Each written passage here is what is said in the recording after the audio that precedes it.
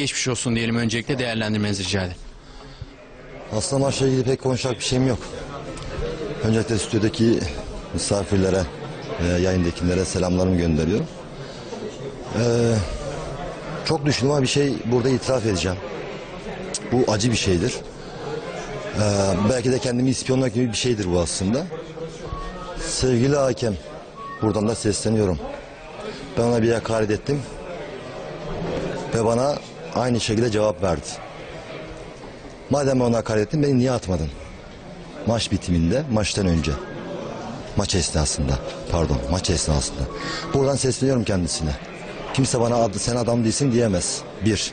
İkincisi ben o heyecanla, o stresle bir laf söyleyebilirim. Cezam nedir? Atarsın, raporunu yazarsın. Üç maç, beş maç neyse yerim. Bu birincisi. ikinci noktada kimse bizim üzerimize bu kadar gelmeye hakkı yok. Saha içerisinde. Hakemlere konuşuyorum. Biz sustukça basıyorlar üzerimize. Yazıktır. Biz de burada bir takım emekler çaba, sarf etmeye çalışıyoruz. Emek vermeye çalışıyoruz. Diyeceklerim bundan ibaret. Fenerbahçe'yi kutluyorum.